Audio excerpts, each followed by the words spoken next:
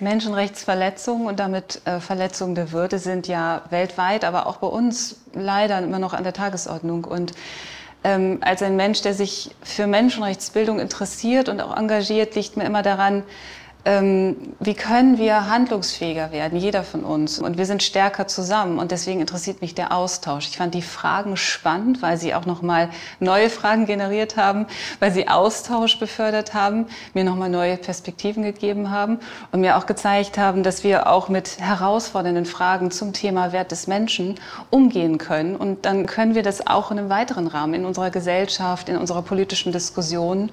Und das ist spannend und das gibt mir Hoffnung, dass wir bei dem Thema weiterkommen.